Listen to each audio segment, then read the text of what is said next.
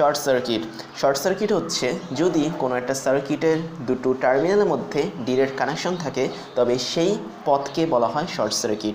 তাহলে আমরা একটা সার্কিট কল্পনা করি এখানে, যেখানে সার্কিটের ভোল্টেজ সোর্স ভি এবং এটি আর ওয়ান এবং আর টু রেজিস্টার দুটির সাথে যুক্ত।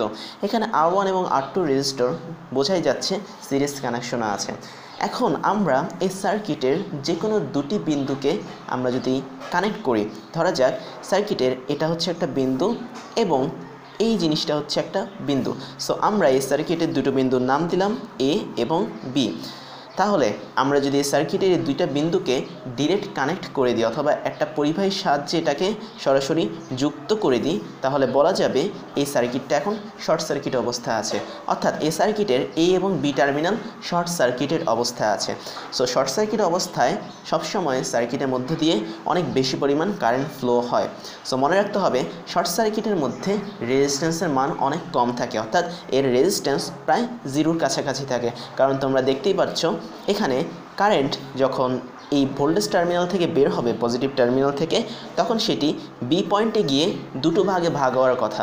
সো এখানে একটু খেয়াল রাখো শর্ট সার্কিটের ক্ষেত্রে কারেন্ট কখনো দুটো ভাগে ভাগ হয় না। শর্ট সার্কিটের ক্ষেত্রে কারেন্ট সবসময় শর্ট সার্কিট জায়গা দিয়েই যায়। অর্থাৎ এখানে এই কন্ডাক্টর দিয়েই কারেন্টটা যাবে।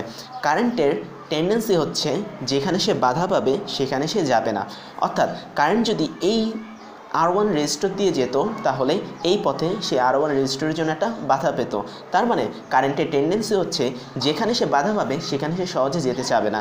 বাট আমরা যদি এই শর্ট সার্কিটকে কল্পনা করি, তাহলে যেহেতু শর্ট সার্কিটের রেজিস্ট্যান্স হচ্ছে অনেক কম, প্রায় জিরোর কাছাকাছি শর্ট সার্কিটের রেজিস্ট্যান্স হচ্ছে জিরোর কাছাকাছি, তাই কারেন্ট সবসময় এই জিরো রেজিস্ট্যান্স পথ দিয়ে যাবে। তাহলে কারেন্ট এখানে ভাগ হবে না, সবসময় এই পথ দিয়ে যাবে। তার মানে আমরা বলতে পারি শর্ট সার্কিট যদি করা হয় কোনো সার্কিটকে তবে যেই এলিমেন্ট অথবা সার্কিটের উপাদানের দুই প্রান্তকে শর্ট সার্কিট করা হয়, সেই এলিমেন্টটা সার্কিটে আর কাজ করতে পারে না। তার মানে আমাদের এই সার্কিটে আর ওয়ান রেজিস্টর কোনো কাজ করতে পারবে না। শুধুমাত্র আমাদের সার্কিটে কারেন্ট এই পথ বরাবর ঘুরবে। ওকে এবার আমরা দেখি শর্ট সার্কিটের প্রকারভেদ শর্ট সার্কিট প্রধানত চার প্রকার।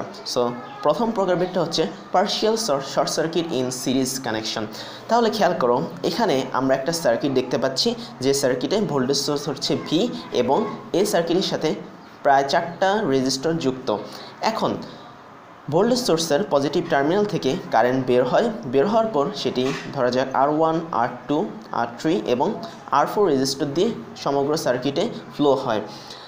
এখন partial short circuit in series বলতে বোঝায় যদি কোনো সিরিজ কানেকশন যুক্ত সার্কিটের যে কোনো একটা এলিমেন্টের দু প্রান্তকে শর্ট সার্কিট করে দেওয়া হয় তবে সে সার্কিটটাই হবে আমাদের পার্শিয়াল শর্ট সার্কিট সিরিজ তাহলে খেয়াল করো, এটা হচ্ছে আমাদের একটা সিরিজ সার্কিট এবং এই সার্কিটের যে কোনো একটা উপাদানের দু প্রান্তকে আমরা শর্ট সার্কিট করে দেব।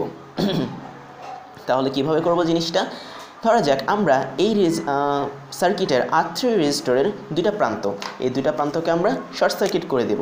তাহলে আর থ্রি রেজিস্টরের দুইটা প্রান্তকে আমরা এখান দিয়ে শর্ট সার্কিট করে দিলাম। তখন কারেন্ট এই আর থ্রি রেজিস্টর দিয়ে ফ্লো হবে না। কারণ আমরা জানি কারেন্টের টেন্ডেন্সি হচ্ছে যেখানে বাধা থাকবে, সেখানে সে ফ্লো হবে না। যেখানে সে বাধা পাবে না, সেখান দিয়ে ফ্লো হবে। বাট যদি এখানে শর্ট সার্কিট না করে একটা রেজিস্টর দেওয়া হতো, তাহলে কারেন্ট এ প্রান্তে এসে এদিক দিয়েও ভাগ হয়ে যেত, এদিক দিয়েও ভাগ হয়ে যেত।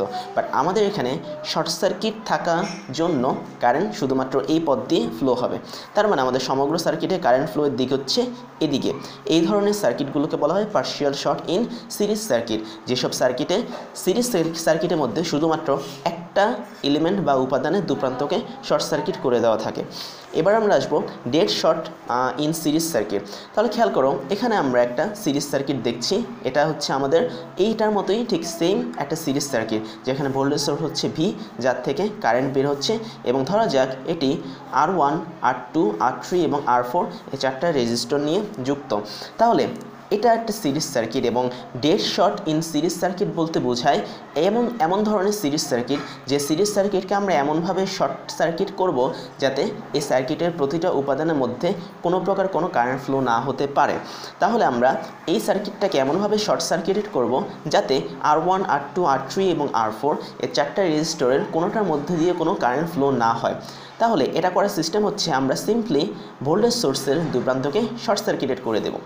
তাহলে খেয়াল করো, যদি ভোল্টেজ সোর্সের দুপ্রান্তকে আমরা একটা কন্ডাক্টর বা তার দিয়ে যুক্ত করি, তাহলে কারেন্ট এদিক থেকে বের হবে। বের হওয়ার পর সে এখানে দুটা পথ পাবে। হয় সে এ পথে যাবে এবং এ পথে যাবে। তাহলে আমরা জানি কারেন্ট সবসময় যে পথে বাধা আছে সেই পথকে ইগনোর করে। তাহলে কারেন্ট এই রেজিস্টরের এই পথগুলো দিয়ে সে যাবে না। কারণ এই পথে অনেকগুলো রেজিস্ট্যান্স যুক্ত। তাহলে এই রেজিস্ট্যান্স যুক্ত পথে কারেন্ট না গিয়ে কারেন্ট শর্টকাটে এই শর্ট সার্কিট দিয়ে আবার ভোল্টেজ সোর্সের নেগেটিভ টার্মিনাল ফিরে আসবে।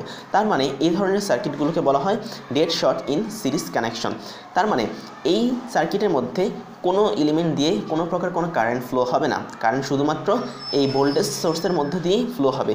এবং এই ধরনের সার্কিটগুলোকে ডেট বলা হয়। কারণ এই ধরনের সার্কিটের কারেন্টের মান প্রচুর পরিমাণ থাকে। কেননা এখানে ভোল্টেজ সোর্সেরই দুই প্রান্ত আমরা যুক্ত করে দিয়েছি। সো যখন কোনো একটা ভোল্টেজ সোর্সের দুপ্রান্তকে একই একটা কন্ডাক্টর দিয়ে যুক্ত করা হয়, তখন সেই টোটাল সার্কিটটা টোটালি ড্যামেজ হয়ে যায়। কারণ এই প্রান্ত দিয়ে অনেক পরিমাণ কারেন্ট ফ্লো হয়। ঠিক সেই কারণে আমরা এই সার্কিটে বলতে পারব dead short in series connection short সার্কিটের আরও একটা প্রকারভেদ হচ্ছে পার্শিয়াল শর্ট ইন প্যারালাল তার মানে এখানে আমাদের প্যারালাল সার্কিটকে ইউজ করতে হবে। খেয়াল করো, এটা হচ্ছে একটা প্যারালাল সার্কিট যেখানে ভোল্টেজ সোর্স ভি এর সাথে আর ওয়ান আর টু এবং আর থ্রি এই তিনটা রেজিস্টার যুক্ত। তাহলে পার্শিয়াল শর্ট ইন প্যারালাল সার্কিটের কথা মতো এখানে এই সার্কিটের যে কোনো একটা এলিমেন্টের মধ্যে এলিমেন্টকে আমাদের শর্ট সার্কিট করতে হবে। তার মানে পার্শিয়াল শর্ট ইন প্যারালাল কানেকশনে আমরা যদি যে কোনো একটা রেজিস্টরের দুপ্রান্তকে শর্ট সার্কিট করি, তবে সেটাই হবে এই সার্কিট তাহলে ধরা যাক আমরা আর থ্রি রেজিস্টরের দুপ্রান্ত কীভাবে শর্ট সার্কিট করে দিলাম। তার মানে আর থ্রি রেজিস্টরের দুপ্রান্তকে আমরা একটা কন্ডাক্টর বা পরিবাহী তার দিয়ে যুক্ত করে দিলাম। তার মানে কারেন্ট যখন এই ভোল্টেজ সোর্স থেকে যাত্রা শুরু করবে, তখন সে এ প্রান্তে আসে আসবে এবং এখানে দুভাগে ভাগ হবে। একটা ভাগ যাবে হচ্ছে আর ওয়ান দিয়ে এবং আরেকটা ভাগ যাবে এই পথে। এই পথে যখন কারেন্ট আসবে, তখন সে আর টুতে ভাগ হবে এবং এই পথে যাবে। আর এই পথে যাওয়ার পর সে এই জায়গাটাতে যখন আসবে, তখন সে দুটা পথ পাবে যাওয়ার জন্য। কিন্তু আমি আগেও বলেছি যে কারেন্টের টেন্ডেন্সি হচ্ছে সে যে পথে বাধা পাবে, সে পথে যাবে না। সে যে পথে বাধা পাবে না, সে পথ দিয়ে যাবে। তার মানে এই প্রান্তে এসে কারেন্টটা আমাদের এই শর্ট সার্কিট দিয়ে ফ্লো হবে এবং আবার এদিকে ফিরে আসবে। তার মানে এই ধরনের সার্কিটগুলোকে বলা হয় partial short in parallel circuit যেখানে প্যারালাল সার্কিটের একটা উপাদান কোনো রকম কোনো কাজ করবে না, কারণ সেই একটা উপাদানের দুপ্রান্তকে আমরা শর্ট সার্কিট করে দিয়েছি।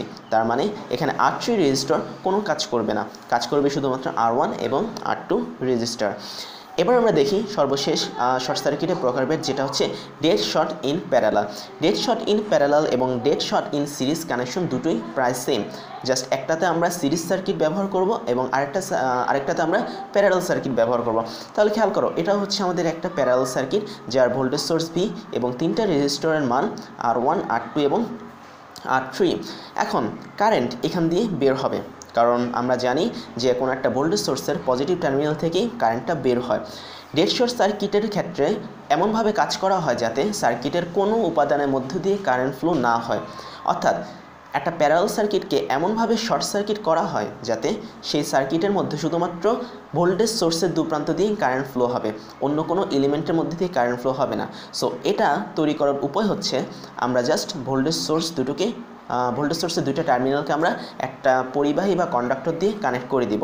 অর্থাৎ ভোল্টেজ সোর্সের দু প্রান্তকে আমরা শর্ট সার্কিট করে দিব। যদি আমরা শর্ট সার্কিট করি, তবে ভোল্টেজ সোর্স থেকে বের হওয়া কারেন্ট এই প্রান্ত এসে পৌঁছাবে। পৌঁছানোর পর সে এদিকে একটা পথ পাবে যাবার এবং এদিকে আরেকটা পথ পাবে যাবার। বাট যখন কোনো একটা কারেন্ট দেখে যে যেই পথে তার কোনো বাধা নেই, অর্থাৎ যে পথটা তার জন্য শর্ট সার্কিট সে সেই পথে যাবে। বাকি পথগুলো সে ইগনোর করবে। তার মানে এই সার্কিটের মধ্যে শুধুমাত্র কারেন্ট এই ভোল্টেজ সোর্সের চারপাশে ঘুরতে থাকবে। এই রেজিস্টরগুলোর মধ্যে যাবে না। এবং এক্ষেত্রে খেয়াল করো, আমাদের এই শর্ট সার্কিটের ক্ষেত্রে ভোল্টেজ থেকে যে কারেন্টটা বের হচ্ছে, সেটাই কিন্তু ভোল্টেজ সোর্সের ভিতরে ঢুকে যাচ্ছে। তার মানে এই সার্কিটের মধ্যে প্রচুর পরিমাণ কারেন্ট তৈরি হবে, যার ফলে সার্কিটটা ড্যামেজ হবে। সেজন্য একে বলা হচ্ছে dead short in parallel connection এবং সবশেষে আরেকটা কথা জেনে রাখা দরকার যে একটা পিওর শর্ট সার্কিট কখনোই পাওয়া যায় না।